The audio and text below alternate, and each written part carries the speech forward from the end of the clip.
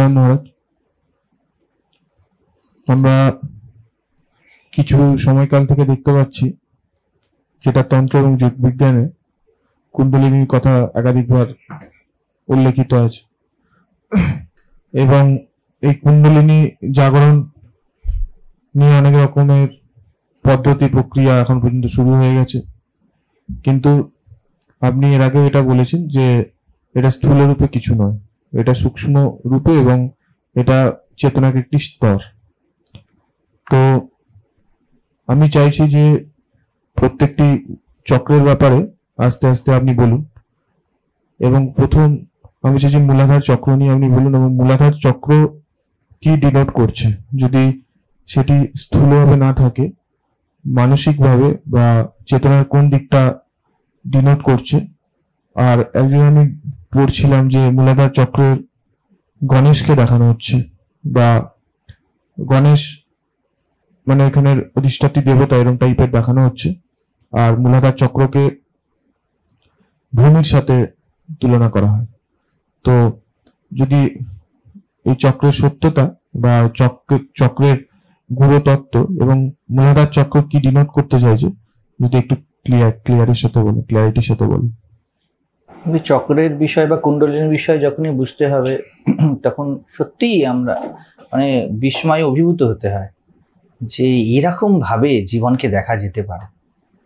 ভারতীয় ঋষি প্রজ্ঞা এত গভীরে গিয়েছে, এত গভীরে গিয়েছে, ভারতকে যে স্পিরিচুয়াল জায়ান্ট বলা হয়, এই বিষয়ে যত ব্যক্তি অনুসন্ধান করবে সে হতবাক হবে যেরকম ভাবা যায়। তো কুণ্ডলিনী বিষয় বলতে গেলেই প্রথম কথা আমি যেটা আগেও বলেছি, আবার আমি বারবার রিপিট করব, কারণ ভুল পথে যাওয়ার থেকে দুবার বেশি শোনা ভালো। সেটা হলো যে, এই যে তুমি যেটা বলছিলে যে বিভিন্ন রকমের ক্রিয়াকলাপ চারিদিকে শুরু হয়ে গিয়েছে, দুঃখজনক, দুর্ভাগ্যজনক, কিন্তু মানুষের হেল্পলেসনেসও দেখতে পারি। কারণ যখনই মন মূল বিষয় ধারণা করতে পারবে না তখন এই যে সাবঅর্ডিনেট বিষয়গুলো ছাড়া তাকে ছাড়া কোনো অপশান থাকে না যাওয়ার। তো কুণ্ডলিনী যে চক্র যে কথাগুলি বলা হয়েছে, সেটা নো ডাউট খুব এফেক্টিভ জিনিস।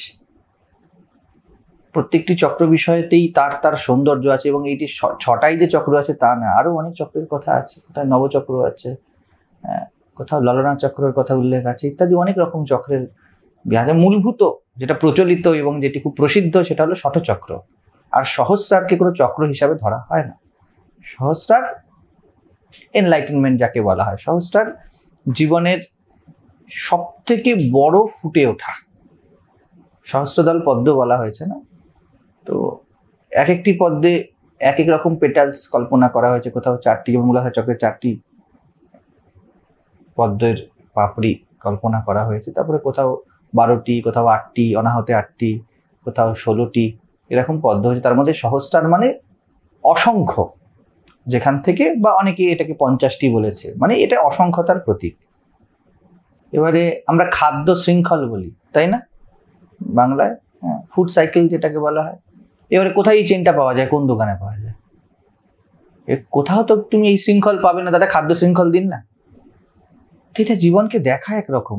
তার মানে কি খাদ্য শৃঙ্খল নেই? কেউ যদি বলে কুণ্ডলিনী বলে কিছু নেই, সে ভুল বলছে। আর কেউ যদি বলে কুণ্ডলিনী ওই দোকানে পাওয়া যায় এবং চক্র কোন একটা জায়গায় কেটে বের করা যায়, সেও ভুল বলছে। এমন কিছু পাওয়া যাবে না। এটা জীবনের একটা সামগ্রিক পর্যালোচনা। তার মধ্যে থেকে জীবনকে খুব গভীরভাবে এক একটা সেন্টারে দেখা হয়েছে এবং এক একটা সেন্টারকে একটা জিনিসের প্রতিনিধিত্ব করানো হয়েছে। যেমন মূলাধার চক্রের কথা যদি বলা হয়। মূলাধার চক্রকে একদম কোথায় নেওয়া হয়েছে? একদম স্পাইনের নিচে। ঠিক আছে? একদম সর্বপ্রথম। নাম থেকে তো বারবার স্পষ্ট যে কোনো গুগল সার্চ করলেও সে এখন বলে দেবে, কথাটাই হলো আধার মানে প্ল্যাটফর্ম সব কিছুর একদম বেস এবং মূল। অবস্থা চেতনার, এতে কোনো সন্দেহ নেই। কিন্তু অবজারভেশন অবজারভেশন বড় গভীর। এই যে স্পাইনের একদম নিচের অংশে যেন আমাদের আধার আমাদেরকে ধারণ করে আছে পুরো স্পাইনাল কর্ড পুরো দেহকে ধারণ করে আছে। তন্ত্রের দেহকে খুব গুরুত্ব দেওয়া হয়েছে, কারণ দেহর দরজা দিয়েই কিন্তু সেই শক্তির অনন্ত কেন্দ্রে পৌঁছানো হয়। যে যতই কথা বলুক, অহম ব্রহ্মাস্মি কোনো জীবই উচ্চারণ করেছিল। হুম? যে কোনো বীজ মন্ত্র কোনো জীব বলেছিল। ধর্মের লড়াই কোনো শরীরেই রয়েছিল। তো দরজা তো দেহের।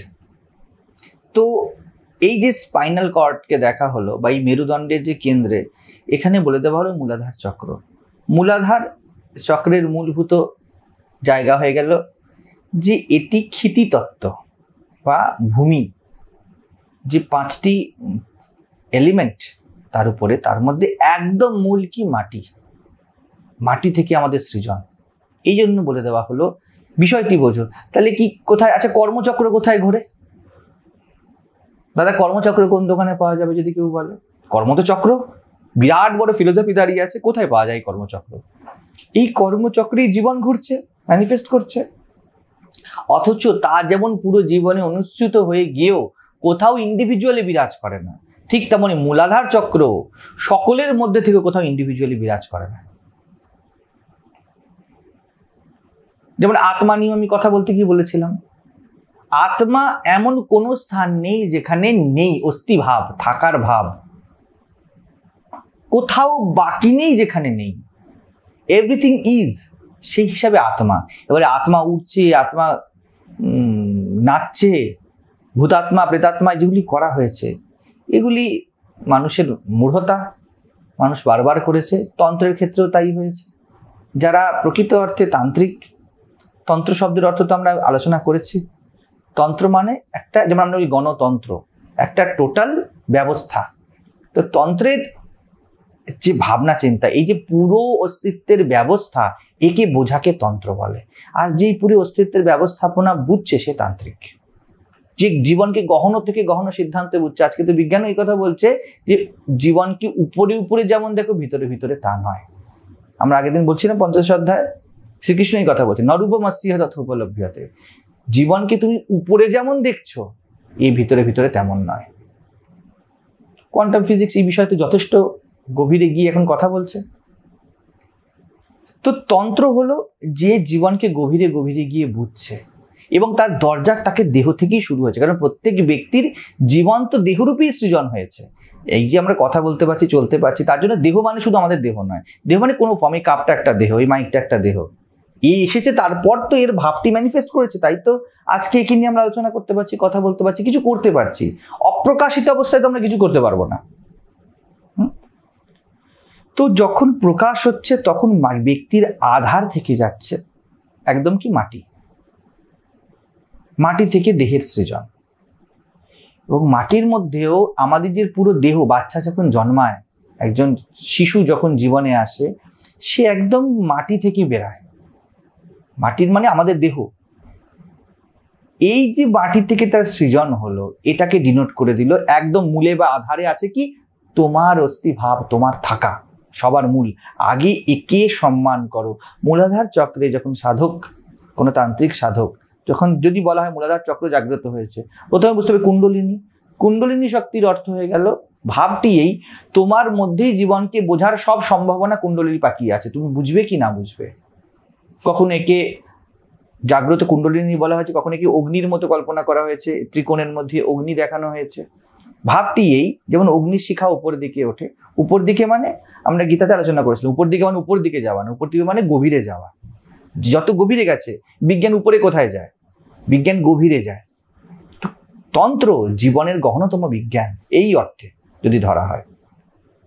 তো যে একটা শিশু জন্মালো তার কেন্দ্রে কি আছে? তিনটে জিনিস, জীবনের মূলভূত জিনিস। কি? যেটা আমাদের চাই চাই। সব আহার, নিদ্রা, মৈথুনাঞ্চ, নরানাম, পশুভি, সমান। এই সকলের মধ্যে নর হোক আর পশু হোক, মানুষ, পশু সবার মধ্যে আহার, নিদ্রা, মৈথুন এই তিনটে জিনিস একদম প্রকৃষ্ট রূপে। মৈথুনের ফলেই দেহ আসে। জীবনকে মন্থন করলেই দেহ সৃজন হয়। সেটি আমরা একটু আগে আলোচনা করলাম। মন্থন হয়েছে, কোনো যৌন মিলন হয়নি। সমুদ্র মন্থনে যেমন অমৃত বিষ উঠে আসে, ঠিক তেমনি এই যে সাপের কথা দেখো না, সাপেরই বিষ জীবন যখন কুণ্ডলিনী জাগে সবার প্রথম মানে এই সাপ উঠে দাঁড়িয়ে পড়ছে তা নয়, যখন জীবনে প্রথম মানুষের জীবনের গহনে যাওয়ার সূচনা হয় প্রারম্ভিক লগ্নে, প্রত্যেক সাধককে কিন্তু কিছু স্ট্রাগল করতে হয় এবং তা বিসদৃশই হয়। নিজের উপরে কাজ করতে হয় তাকে। তাকে নিজেকেই নিজেকে সবার আগে ফেস করতে হয়। তার নিজের ভিতরের যে বাঁক চোর তাকে পরিচিত হতে হয়। তখন কি হয়? তা হলাহলের মতোই হয়। সমুদ্র মন্থনে এই কথা। শিবের সমুদ্র মন্থনে এই কথাই বলে। কি বেরোলো বিষ? অমৃত পরে। শ্রীকৃষ্ণও বলেন, ষোড়শ অধ্যায় গীতাতে কি? যত্তদ অগ্রে বিষম বিষমিব, পরিণামে অমৃত উপমম শেষে গিয়ে যে অমৃত দেয়, তৎ সুখম সাত্বিকম প্রক্তম, আত্মবুদ্ধি প্রসাদজম। জীবনের শ্রেষ্ঠতম প্রসাদ, যা তা প্রথমে বিষই দেবে, প্রথমে তোমাকে পরিশ্রম দেবে। তো কুণ্ডলিনী যখন জাগরিত হয়, অর্থাৎ ব্যক্তির মধ্যে তার অন্তঃপ্রজ্ঞা যখন জাগরিত হয়, ঠিক আছে, তার জীবন যখন ট্রান্সফরমেশনের যাত্রা শুরু করে, তখন সবার আগে সে মূলাধার চক্র তার জাগ্রত হয়েছে। মূলাধার চক্র জাগ্রত হয়েছে, এর অর্থ দাঁড়িয়ে গেল, ব্যক্তি তার যেই ভৌতিক জীবন তাকে গোছাতে শুরু করবে। শিশুর মধ্যে প্রথমেই মৈথুন ভাব থাকে না। ঠিক আছে? তা ধীরে ধীরে, কিন্তু আহার নিদ্রা তার ম্যান্ডেটারি একটা ফ্যাক্টর প্রত্যেক জীবনের। সে ভাইরাস থেকে ব্যাকটেরিয়া থেকে শুরু করে মানুষ অব্দি সে তার আহার সংগ্রহ করবে এবং তার বিশ্রাম। এই দুটো জিনিস কিন্তু একই টাকার এপিট ওপিট ফুড মানে এনার্জি কনজিউম করা আর বিশ্রাম মানে এটাকে রিস্টোর করা। এই দুটো থাকবেই তার মধ্যে, ঠিক আছে? তো এই যে ভাব, এটাকে মূলাধার ডিনোট করে দিচ্ছে। মূলাধারের চারটি দিক, সেটা জীবনের চার ভাগ হিসাবে নেওয়া যায়।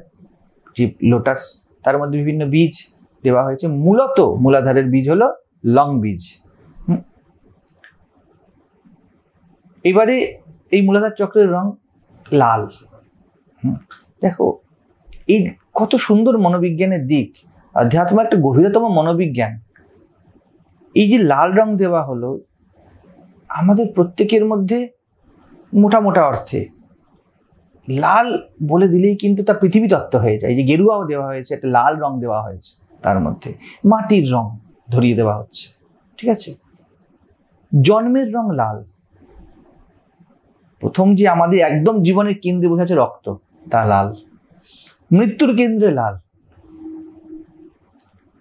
মা কালী যে রূপ কল্পনা করা হয়েছে, তার মধ্যে দেখা যায় তিনি অহরহ প্রসব করছেন, সাধকরা বলছে। সেই জন্য তার কাপড় পরার সময় নেই। তো এই প্রকৃতি, অনন্ত প্রসবা, সবসময় প্রসব করছে। তাই যদি প্রকৃতিকে কাছ থেকে দেখা হয়, এই যে আমরা বলি না, বিক্ষেপ আর মায়া, যে দুটো শক্তি, আবরণ আর বিক্ষেপ, তা নেই প্রকৃতিতে। বুঝতে পারছ সংকেত? জগদম্বা নিজে বস্ত্র ধারণই করেননি। তন্ত্রের যে সিদ্ধান্ত। অর্থাৎ তুমি কোন আবরণ বিক্ষেপের কথা বলছো? মা তো ঢাকেনি এমন তো নয় তুমি তোমার চোখ ঢেকেছ। মা ঢাকেননি।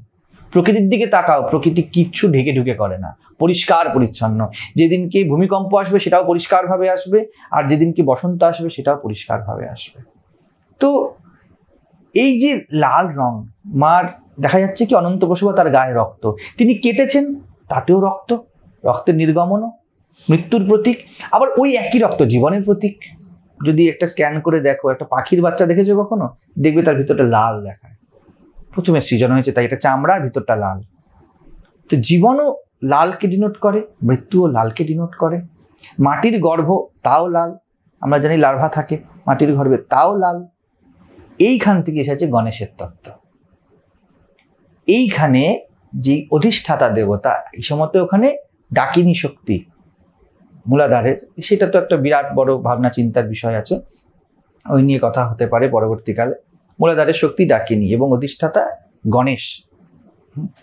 গণেশের গায়ে রুধির, সিন্দুর শোভাকরণ, গণপতি। লাল রং করা হলো। ক্রিয়া, ক্রিয়াময় দিক লাল। জীবন মানে লাল, তার প্রতীক ভারত ধরে নিয়েছে। তো গণেশকে লাল করে দেওয়া হয়েছে। লম্বোদর যেন তার গর্ভে লম্ব উদর তারারও যেন তিনি উদরকে ব্রহ্মাণ্ডের সাথে তুলনা করা হয়েছে বারবার। হুম, কালীর উদর। তো তিনি দাঁড়িয়ে আছেন। মূল বিষয় কি? গণেশের। গণেশ হলেন গণপতি। অর্থাৎ প্রত্যেক মানুষের বা প্রত্যেক জীবের যিনি অধিপতি, এই গণেশ ঠিক আছে? গণেশের খুব উচ্চ তত্ত্ব আছে তন্ত্রে। এবং ইভেন যখন ছাগ বলি ইত্যাদি বলিদান হয় না, তাতে যেই দেবতা অধিষ্ঠিত হবে, তার সাথে গণেশেরও একটি ভাগ থাকে। তো যাই হোক, সেটা তো আলাদা দিক। এই গণপতি, তুমি যেটা বলছিলে, যেটি গণেশের মূল ভাব, গণেশ হলো জীবনের অধিপতি। সিদ্ধিদাতা। সেই জন্য তুমি বলছে বিঘ্নকর্তা, বিঘ্নহর্তা। এই দুটো। জীবন বিঘ্নকর্তাও বটে বিঘ্নহর্তাও বটে। এটা আমাদের উপর নির্ভর করছে জীবনকে আমরা কীভাবে দেখব। তো গণপতি হলো, প্রথম হলো তোমার কেন্দ্রে বসে আছে সব গণের প্রতি তিনি। এই যে মূলাধার চক্র, এই যে দেহ, এই যে মাটি, এই যে আহার এবং নিদ্রা। মৈথুনের জন্য এক্সট্রাক্ট পরবর্তীকালে স্বাধিষ্ঠান চক্র নেক্সট কথা হয়। কামতত্ত্ব স্বাধিষ্ঠান চক্রে যায়। তো এই মূলাধারের যে আছে খাওয়া আর ঘুম এবং মাটির প্রতি যে আমাদের আকর্ষণ, এর প্রতিনিধিত্ব করছে গণেশ। প্রত্যেক গণ, সে ভাইরাস থেকে শুরু করে সব কিছুর এটা চাই চাই। মৃত্তিকা তার মূল এলিমেন্ট এবং এই গণের প্রতি হলো গণেশ। তিনি লাল রং মেখে বসে আছেন এবং তিনি এইখান থেকেই, এই প্রথম যে জীবন বিকশিত হলো, এর থেকেই কিন্তু জনতা বা গণ বা গণেশ গণানামিষ যাই বলা হোক, এর সৃজন হলো। মানে কর্মের ভূমি রচনা হলো প্লট এই জন্য গণেশ বিঘ্নকর্তা জীবন এসেছে মানে জীবনের ডুয়ালিটি থাকবে, বিঘ্ন, অবিঘ্ন, ঠিক আছে? জীবন বিঘ্ন করবে, যেহেতু আমরা সৃজন হয়েছি, বিভিন্ন বিঘ্নের দিক থাকবে, আমরাই, কৃষ্ণ বলেন আত্মনি হি আত্মন বন্ধু আত্মনি রিপুর আত্মন। তো গণেশকে যদি আমরা বুঝতে না পারি জীবনকে, যদি আমরা মূলাধার চক্রের সিদ্ধান্ত বুঝতে না পারি, তাহলে কি ঘটে যাবে? জীবনের বিঘ্ন কর্তা। আমরাই আমাদের জীবনকে বিঘ্নে জড়িয়ে ফেলব। নিজেরাই কেউ করে না, আমাদের জীবন উৎপাত আমরাই করি। কোনো সমস্যা নেই, বসে চল ভাই, ঘুরে আসি। এবার ঘুরে আসার চক্করে গিয়ে যা করে এলাম, তার জন্য এবার পুলিশ কেস। কেউ করে না, ঝামেলা। ঠিক আছে? আর এটাই যখন বোধে প্রতিষ্ঠিত হব, তখন গিয়ে বিঘ্নহর্তা এই মূলাধার থেকেই কিন্তু ট্রান্সফরমেশনের জার্নি শুরু হয়। জীবন ঊর্ধ্বগামী হয়, জীবন বিকশিত হয়। শেষ বিষয় কি? এইখানকার সাধক এই যে মূলাধার চক্রের সাধক, যখনই সে মূলাধারে আসবে, তখনই তার এই যে দৈহিক গঠন, যেটা আমি ওকে বলছিলাম, বড় সন্তুলিত হতে শুরু করবে। কোনো সাধককে দেখবে না, সে সাধনা করছে এবং সে হ্যাপাজার্ড চলছে। তার খাবার ঠিক নেই, তার ঘুমের ঠিক নেই, তার ওঠার ঠিক নেই, বসার ঠিক নেই, ওটা শেষ সিদ্ধান্ত, সহস্রার সিদ্ধান্ত। একদম নিম্নতায় কি হবে? মাতালের কিছুই ঠিক নেই, কখন খাই, কখন ঘুমাই। আর সিদ্ধ পুরুষের কিছু ঠিক নেই। কারণ তার মধ্যে কোনো ভেদ নেই। একজনের বেরোনোর রাস্তাই নেই, সেও ঘরে থাকে। আর একজনের বেরোনোর প্রয়োজন নেই, সেও ঘরে থাকে। দুজনের অবস্থা সেম নয়। তো এই সময় সাধক কি করে? প্রথমে সাধনার প্রথমেই প্রত্যেক সাধকের, প্রত্যেক ব্যক্তির জীবন যখন জাগ্রত হয়, প্রজ্ঞা জাগ্রত হয়, এই জার্নিতে সে নিজেকে গোছায়। তার আহার, নিদ্রা, চলন, বলন, শুধু আহার, নিদ্রা বলতে শুধুমাত্র বাহ্যিক নয়, শারীরিক নয়, সব রকম স্তরে। তিনটে শরীর, সূক্ষ্ম, স্থূল, কারণ। স্থূল শরীরে লিটারালি খাওয়া। শুধু খাওয়া নয় শোনা ওঠা, বসা, সে নিজে থেকেই শতপ্রণোদিত হয়ে এইগুলোকে সংহত এবং সংযত করে। সে এই স্তরে বুঝতে পারে সবার আগে যে আমাকে নিজেকে গোছাতে হবে নো ওয়ান টু ব্লেম বাইরের লোক কি কথা বলছে এটা ইস্যু নয়, আমি ওই মজলিসে উপস্থিত কেন? সে দায়িত্ব নিয়ে নেবে। জীবনের দায়িত্ব মূলাধার চক্র এনে দেয়। সাধক, সে বলবে না সকালে যেমন ওর সাথে আলোচনা করি, সকালে উঠতে পারি না। সে বলবে আমি রাত্রে দেরি করে ঘুমাই, এটাই তো তথ্য। আমি সারা দিন এক্সস্ট থাকি, এটাই তো তথ্য। আমি যেই জন্য ছুটছি, এই এত ছুট কি আমার জীবনের জন্য প্রয়োজন? কতটা প্রয়োজন? কি খাব? কখন উঠবো? কতক্ষণ বিশ্রাম নেব? কার সাথে সঙ্গ করব? মোটামুটি এই যে বাহ্যিক আচার আচরণগুলো, এগুলি শতপ্রণোদিত হয়ে সাধক মূলাধার চক্রে কিন্তু নিজেকে গোছাতে শুরু করে। এইখানেই জার্নি বিগিন হলো, যে মোটামুটি সাধক নিজেকে দেখছে। এবং মূলভূত ভাবে তার, সে খাবে না তা নয়, আবার সে প্রচুর খাচ্ছে তাও নয়। সে ঘুমাবে না তা নয়, আবার সে ঘুমিয়েই আছে তা নয়। তো এই জায়গাতে তার একটা বাহ্যিক সংযম চলে আসে, সূক্ষ্ম শরীরে অযথা দুশ্চিন্তা সাধক পোষণ করা ছেড়ে দেয়। ইটস নট নেসেসারি জানলা খুললেই কি সূর্যের আলো আসবে? জানলা না খুললে আসবে না হান্ড্রেড পার্সেন্ট শিওর খুললেও আসবে কি না আসবে নো গ্যারেন্টি আকাশ মেঘলা থাকতে পারে। এখন রাত্রিকাল হতে পারে। সামনে কোনো রকম অবস্টাকেল থাকতে পারে। সেটা আলাদা কথা। সব কিছু মিলেই সূর্য আসবে। সূর্য উঠেছে, আকাশ পরিষ্কার আছে, কোনো অবস্টাকেল নেই। এই সব মিলে আমার ঘরে সূর্য আসবে। কিন্তু আমি জানলা না খুললে যে আসবেন, এটা হান্ড্রেড পার্সেন্ট শিওর ঠিক? ঠিক মূলাধার চক্রের কাজই এই। সাধক নিজের জানলা খোলে। সে সংকল্পে দৃঢ় হয়, জীবনের ট্রান্সফরমেশনের জার্নি আমি করব। এবং এটি খুব, যদি একশোটা কন্ডিশন মিলে জীবন রূপান্তরিত হয়, প্রজ্ঞা স্থাপিত হয়, তার মধ্যেই প্রথম এক নম্বরে দাঁড়াল সাধকের সংকল্প। কারণ প্রকৃতি ব্যক্তির মধ্যে সংকল্প হয়েই কিছু কর্মকে ম্যানিফেস্ট করে। এটা প্রকৃতির ঢং, ব্যক্তির সংকল্প নয়। ব্যক্তিত্ব সংকল্প প্রকৃতিই তোলে। যদি আপনাকে বাজারে নিয়ে যেতে হয়, প্রকৃতিই বলবে যে, খাবার ঘরে কিছু নেই, বাজারে চলো। এই প্রথম পিন ব্যক্তির মধ্যে দিয়ে আসে। তো মূলাধার সাধক এইভাবে এগাবে, তো পরের পরে চক্রগুলি নিজের নিজের মতো করে তার তার সৌন্দর্য এবং উচ্চতা আছে। এ নিয়ে পরে আমরা দেখব